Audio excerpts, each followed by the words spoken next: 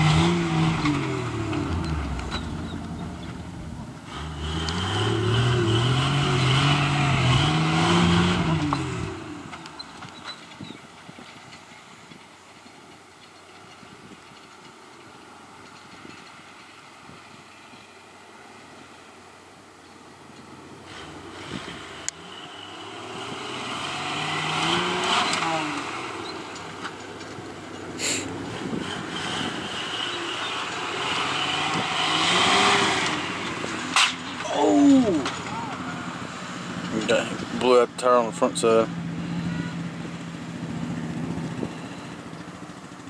I thought he was going over.